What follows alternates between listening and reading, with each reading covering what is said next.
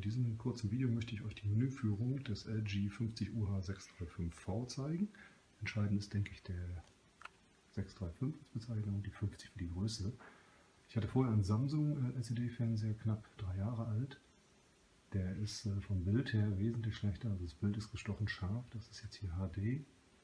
Ähm, Ultra HD ist nochmal Nuancen besser, ich habe da ein, zwei Fotos auch mit eingestellt. Ähm, auch die Anschlüsse sind auf den Fotos zu sehen, das zeige ich euch jetzt nicht. Ich möchte euch jetzt wirklich rein die Menüführung zeigen. Unten seht ihr ein lustiges Piktogramm, viel Lautstärke, das wandert jetzt lustig vor sich hin. So, ne, hier zum Beispiel als erstes das sogenannte Live-Menü. Hier kann man selber, hier sieht man immer zuletzt gestartetes, die zuletzt gestartete App, das ist ganz links. Und daneben sind halt verschiedene ähm, Menüpunkte, die man selber auswählen kann. Die kann man auch entsprechend selber dann später sortieren, löschen, ist hier ganz hinten, ich halte mal gedrückt und geht schneller. Da kann man die entsprechend hier bearbeiten, verschieben und so weiter, löschen. Zum Beispiel Amazon habe ich dann drin gelassen, das lustige Symbol da, wenn man es jetzt löschen würde.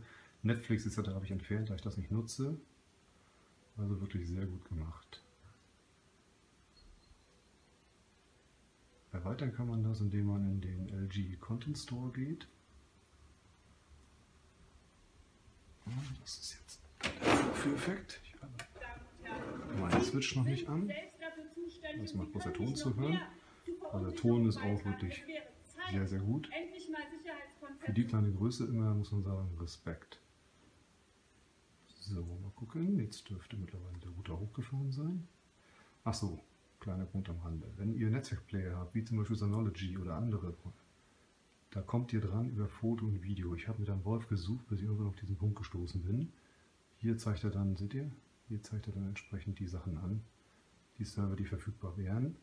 Das ist ein wichtiger Punkt, den sollte man nicht vergessen.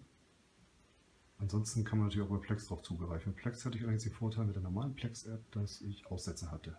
Obwohl mein Synology direkt im Netzwerk hängt, über entsprechendes normales äh, Ethernet-Kabel und nicht über irgendwie Stromnetzwerk oder ähnliches, hatte ich dann ein Problem eine sogenannte X-Play-App, das ist ein abgespeckter Plex-Player, der funktioniert wiederum tadellos. Aber ansonsten geht das auch über diesen Videopunkt. So, ich gehe jetzt mal in den LG Content Store mal rein. Jetzt zeige ich euch den mal kurz. Auch mal lustig, diese kleinen Symbole. Relevant ist dann wirklich der Punkt äh, Apps und Spiele. Da gibt es wirklich Massen an Apps. Nicht alles ist sinnvoll, aber es sind wirklich auch Apps dabei, die sinnvoll sind, wie zum Beispiel diese sogenannte X-Play-App und diverse andere Apps. Da kann man alles entsprechend nachladen, man kann sich selber anmelden.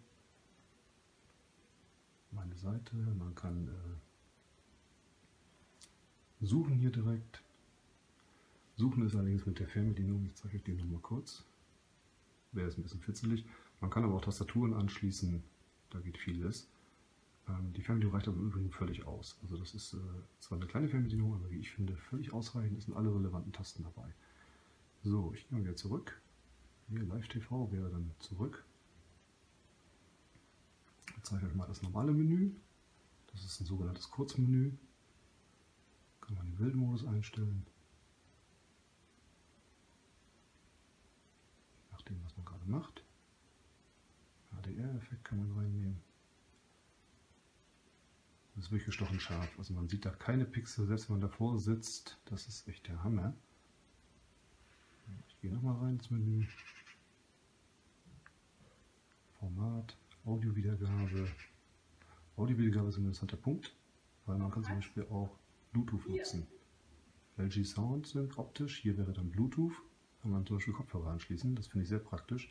Allerdings geht es dann nur, dass man nur über die Kopfhörer bekommt, während man über interne Lautsprecher wie jetzt hier mit Audioausgang. Optisch, da habe ich meinen Funkkopfhörer dran, der da steht. Da kann ich über Funkkopfhörer hören, meine Frau kann ihre eigene Lautstärke entsprechend hören. In dem normalen Lautsprecher.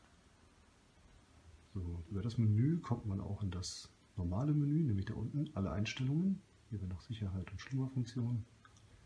Bei alle Einstellungen öffnet sich ein neues Menü, auf der linken Seite dann. Und hier sind dann nochmal wesentlich mehr Punkte auszuwählen.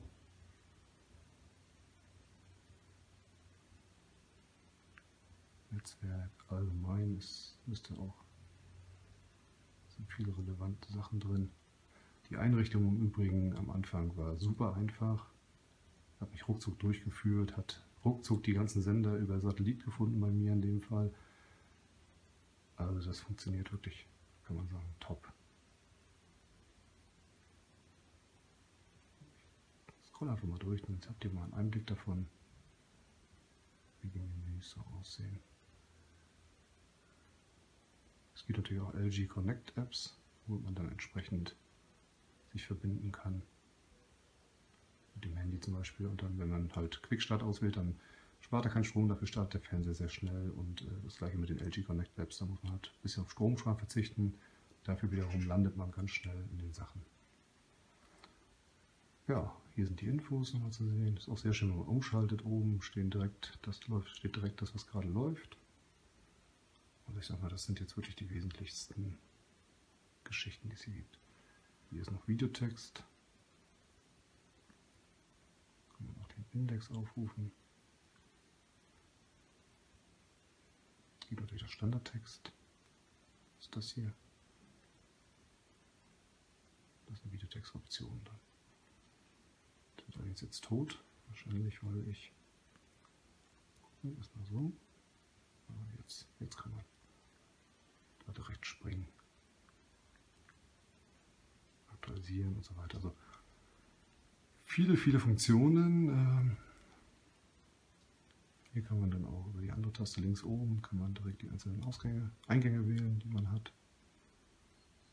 Es gibt einen sogenannten Live-Zoom.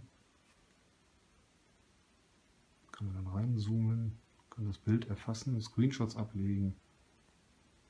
Hat Guide dabei wo man halt ein entsprechendes Fernsehprogramm bekommt.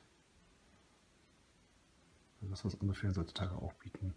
Und wie gesagt, für HDR ähm, kann man sich sehr schön mal die Beispielsvideos, Fotos angucken, die ich drin habe. Ich kann aber auch mal gucken. Ich meine, das Video läuft schon sieben Minuten, aber ich öffne jetzt mal schnell das Amazon Video, den Amazon Video Store. Hier gibt es eine kleine Sache, wenn ich HDR-Videos abspiele, dann sagt er mir allerdings, ich hätte ähm, 1080p. Ich weiß nicht, ob das ein Problem der Anzeige ist, da wollte ich nochmal LG anschreiben, weil eigentlich sah das so aus, als wenn er tatsächlich, also von der Qualität her, sieht das wirklich nach Ultra HD aus. Machen wir das hier zum Beispiel.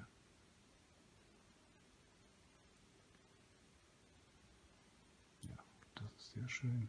Ich weiß nicht, warum er bei solchen Videos eine PIN haben möchte, aber gut. Das sind reine Naturvideos.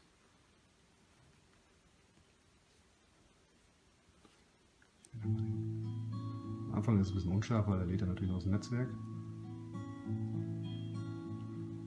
Nicht wundern.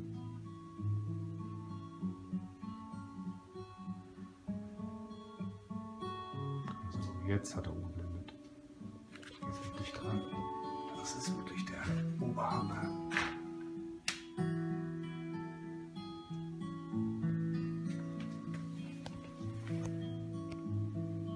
Hoffe, man kann es später noch auf dem verzerrten Pixel-Video von Amazon sehen.